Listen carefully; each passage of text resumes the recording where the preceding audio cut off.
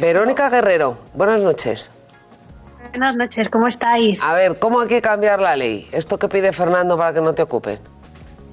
Pues a ver, en primer lugar, eh, yo creo que, y siempre lo diré, que ya no es tanto, que también lo es, lo que son las figuras jurídicas tal y como están reguladas, sino que la lentitud de la justicia hace que realmente, lo, bajo mi punto de vista, el, poco paraguas que hay para proteger a las personas que son que están que tienen sus casas ocupadas, encima se hace todavía más pequeño por la, por la dilatación en el tiempo de esos procesos jurídicos. Eh, al final, ¿qué hay que cambiar? Pues en primer lugar lo que hay que cambiar es eh, que en el momento hay que asemejarse a los países de la Unión Europea, donde en 24 horas países como Francia, países como Holanda, países como Alemania, como Dinamarca, donde en 24 horas, en el momento en el que tú vas con tus escrituras y denuncias una ocupación, les han sacado.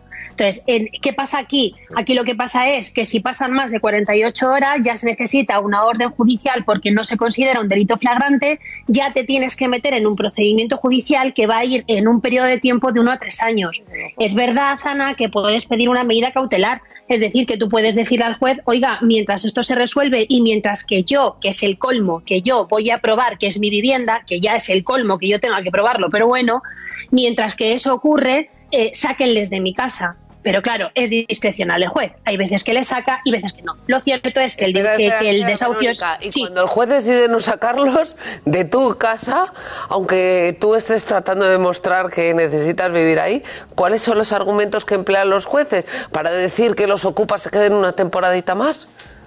Pues a ver, realmente las medidas cautelares, Ana, eh, son muy, digamos que son muy inespecíficas. O sea, tú lo que dices es, oiga, mientras se prueba, sáquenles. ¿Por qué te pueden decir que no? Pues sencillamente, Ana, porque pase eh, algo tan sencillo como que pase tantísimo tiempo hasta que te resuelvan la medida cautelar que prácticamente se junte con el procedimiento principal. O sea, algo tan sencillo como eso. A veces no necesita un argumento más allá.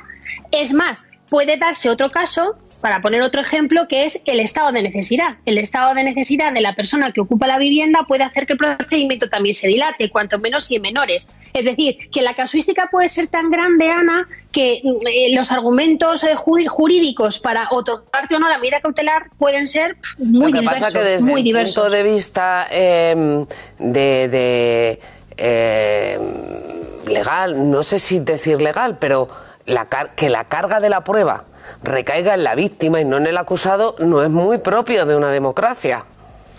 Pues, ¿sabes lo que pasa, Ana? Que eh, cuando una persona denuncia, tiene que probar lo que denuncia. Es decir, si yo denuncio, voy a poner un ejemplo que nada tiene que ver, si yo denuncio un delito de lesiones, yo tengo que probar que me han lesionado X personas. Soy yo quien tiene que probar que me han lesionado y no la otra persona quien tiene que probar que no lo ha hecho. Pues aquí es igual. Si yo denuncio una ocupación, tengo que probar que esa es mi casa. Vamos a ver, salir, van a salir. Eso con las que con las escrituras ya lo demuestras, que es tu casa, o sea, tú ya estás demostrando que tu casa está ocupada. Ah, claro, pero el juez las tiene que leer. claro, claro, Mira, ¿sabéis lo que yo recomiendo? Lo que yo recomiendo siempre es que la ley además es, muy gracioso porque dices, no, es que se requiere eh, que el propietario haya instado a las personas a irse. Hola, o sea, pero, pero, pero ¿en, qué, ¿en qué país vivimos? ¿En qué mundo vivimos? O sea, yo a, mis clientes lo que les digo es, mira, mándales un requerimiento notarial diciéndoles que se vayan de tu casa. Y tú, con ese requerimiento notarial, con las facturas de los suministros, con las escrituras de la vivienda, con las facturas que tengas de obras que haya hecho, con lo que sea, te vas e interpones la denuncia pero aún así estamos hablando de plazos larguísimos y encima para colmo, eh, la otra vez que, que, entré con vosotros ya, ya lo dije, ¿no? que ya me parece el colmo de los colmos, de los mayores colmos, que encima si dejas de pagar el agua, la luz, el gas, encima te pueden denunciar a ti por un delito de coacciones. Es el colmo. O sea, el colmo, pero el colmo de los colmos. Y luego que sale muy barato. Sale muy barato porque al final dos años en una vivienda de lujo es una multa de 560 euros que no pagas porque eres insolvente. Con lo cual, claro, mira, es maravilloso. Es un chollo ocupar. Claro, es un chollo. Pero claro, a, ver quién va a pagar una hipoteca con estas. yo ya. Eh, claro. Cada vez, son cada vez más los incentivos para ocupar. Que para, claro. Que para, que para endeudarse. La y última comprar sentencia es esa, Ana. Son eh, vivienda de lujo, 560 euros a cada uno, eran una pareja pero como son insolventes no lo pagan. Eh, perdona, perdona, Verónica, pero mm, en el fondo yo creo que tenía yo razón es que eh, hay que cambiar la legislación. claro. Total. pero bueno, pues ya, no, es que me había parecido que decías que no, que no hacía falta. Eh, no, no, no, no, que sí, que sí. es que si no cambia esta legislación, estamos perdidos. Sí, no, yo lo que, lo que apuntaba era que ya eh, no es tanto la figura jurídica en sí, que la pena puede ser más o menos, pero el problema, como en cualquier delito en este país, es que las penas nunca se aplican en su totalidad, ya no es tanto la figura jurídica como el aplicarla realmente. Es decir, Mirad, os voy a contar una cosa muy rápida. Hay, un, hay una diferencia muy grande entre un delito de allanamiento de morada y un delito de usurpación. El delito de allanamiento de morada, que como el propio nombre indica es morada, es si a mí me ocupan mi casa, si se meten en mi casa sin mi consentimiento. Cuando hay violencia, las penas de prisión pueden llegar hasta cuatro años. ¿Esto se aplica? Nunca. Nunca se aplica, nunca les va a caer esa pena.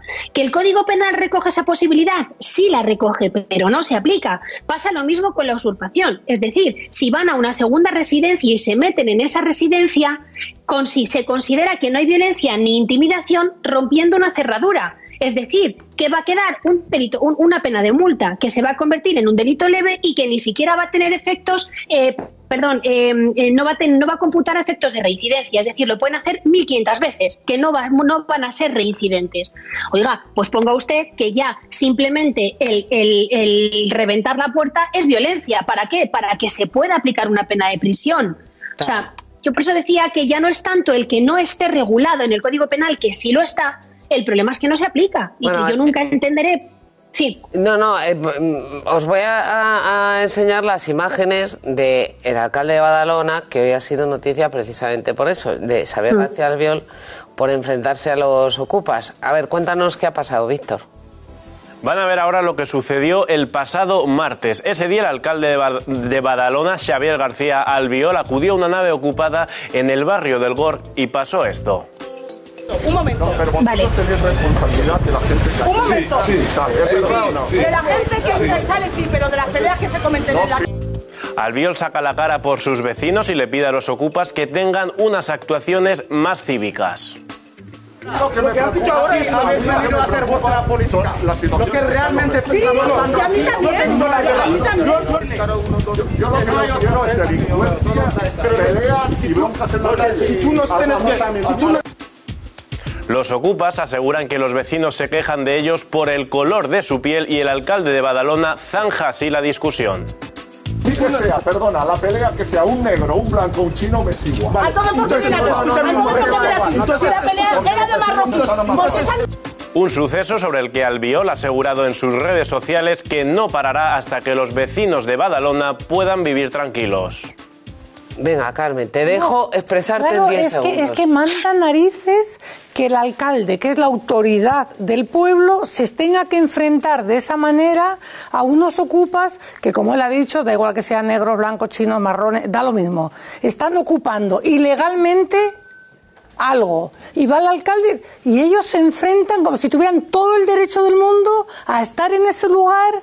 Ese lugar es suyo y encima el victimismo típico. No es que como soy negro usted me trata así porque soy negro. No, le estoy tratando así porque es una ocupa. no porque sea negro. Cuando las actuaciones de los tribunales están reforzando esa conducta porque tardan en dictaminar. Bueno, la alcaldesa de Barcelona es maestra son mínimas. Eh, Paola Mancilla, buenas eh, noches. Eh, Paola, a usted le han ocupado su casa.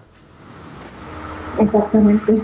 A ver, cuénteme eh, brevemente qué es lo que usted ha vivido. La verdad, digo, un infierno. Al principio, como me ha comentado, este, tuve que alquilar una habitación porque me veía con gastos que no podía más. Y claro, mediante esos gastos, este, tuve que um, um, hacer un infierno completamente con esta pareja y al final me han, me han echado por amenazas tanto a mi como a mi persona. Y, Paola, Paola. Perdóneme, que le voy a cortar porque em, se oye su voz con muchísimo eco y no entendemos lo que dice. Eh, lo- los compañeros de sonido van a tratar de eh, resolverlo. Bueno, Paola, la habéis visto eh, estos días en los informativos, tiene unos inquilinos y de repente sus inquilinos se convierten en sus ocupas. Y ha vivido un terrible drama. Claro, es que eso está ocurriendo. O, eh, Verónica, sigues ahí, ¿no? Sí, sí, sí, sí, aquí estoy. no solo eso, sino a ti te ocupan la casa, tú les denuncias y luego no les puedes echar porque los ocupas han alquilado la casa a otro ocupa y se han ido a ocupar a otro No, sitio. y el inquilino, Entonces es como- ¿sabes qué pasa? Que se convierte en ocupa porque además luego ante el juez exhibe el contrato de alquiler. Y entonces ya sí que no lo echas ni, ni, vamos ni por casualidad, porque tiene un contrato de alquiler que tú has firmado. Esos son casos individuales. Y luego también hay el tema de las mafias. Cada vez hay más mafias, más redes, Verónica. Sí, eh, eh, una, una puntualización sobre lo anterior que decíais. Esa es precisamente la diferencia que yo os explicaba antes del allanamiento de morada y la usurpación. Eso es un claro ejemplo de un delito de usurpación. Y es un claro ejemplo, desgraciadamente, de un delito que termina en una simple pena de multa comparado con el sufrimiento de una persona que ha, que ha tenido durante dos años que se ha visto privada de, su- de la paz de su casa, del derecho de que tiene la vivienda, es decir, es absolutamente surrealista. Y luego el tema de las mafias, pues desgraciadamente sí, es más, eh, hay veces que, eh, los, eh, los realquileres, eh, por decirlo de alguna manera, de estas viviendas se hacen a, a- a otros ocupas, pero hay veces que no. O sea, hay veces que, que hay personas que, que van a una vivienda y que con las llaves les enseñan la casa, les hacen contratos y que ni siquiera se imaginan que no son los dueños de la vivienda. Es decir, que hay veces incluso que hay terceras personas que también se ven inmersas en haber podido cometer un delito sin ni siquiera saber que lo estaban cometiendo, porque no se podían imaginar que no eran los dueños de la casa esas personas, ¿no? Entonces, es, es un... eh, Sí. Ahora mismo en el mercado inmobiliario pues eh, pueden estar cayendo un poco los precios de los pisos de compraventa. Sin embargo, los de alquiler están altísimos porque hay una demanda un 130% superior a la oferta. En alquiler. Claro, tienes 100 pisos y te están pidiendo muchísimos más, el doble o más, con lo cual los precios van a subir, están subiendo y son elevadísimos. Es que cuesta más pagar un alquiler que una hipoteca. Pero habrá casas vacías que no van a salir al mercado si tú tienes esa inseguridad de que al inquilino se te queda ya a vivir hasta que le dé la real gana. Se tendrá que quedar de vivir Claro. el tiempo pactado en un contrato. Entonces, cuando hablan de, oh, horror, los alquileres, qué altos están, vamos a limitar los precios por ley. Y si dejas fluir al mercado, pero favoreces que todo el piso vacío, que está vacío, salga al mercado, porque si se mete un ocupa o un inquilino quiere quedarse a vivir como propietario hasta que se muera, eh, tú le puedes echar y tienes unas garantías. Eso eh, facilitaría la movilidad, entiendo, Verónica, en el mercado del alquiler y una fluctuación de los precios en un mercado verdaderamente libre y seguro, porque un mercado que no es seguro eh, tienes una prima de sobreprecio por la distorsión de ese mercado. Sí, sí, totalmente. Y, además, eh, Ana, te voy a decir una cosa. Yo, sobre todo, eh, pondría el acento en alertar a la gente sobre, la, sobre el alquiler de las viviendas a un precio demasiado bajo. O sea, le ha pasado muchas veces, o por lo menos yo he tenido, he tenido conocimiento, no he llevado ningún caso relativo a esa, a esa temática, o sea, a, ese, a ese, esa problemática, mejor dicho, pero sí lo he oído de personas, ya digo, que alquilan eh, viviendas a precios muy bajos y o bien se encuentran con que detrás hay estafas porque el piso no existe, que eso lo hemos visto, por ejemplo, con viviendas eh, vacacionales que llegan y se encuentran que no hay vivienda, o incluso que alertar a la gente que una, que una vivienda y que te están alquilando un precio bajo en una zona lujosa o cualquier cosa, pues eh, vamos a poner un poco las, las antenas abiertas porque puede ser perfectamente que detrás hay algún tipo de, de, de mafia de, de, este, de este tipo. Pero sí, lo que apuntan los alquileres estoy completamente de acuerdo. Si se limitasen los precios, si no tuviesen los precios que tiene, mucho panorama cambiaría, la verdad.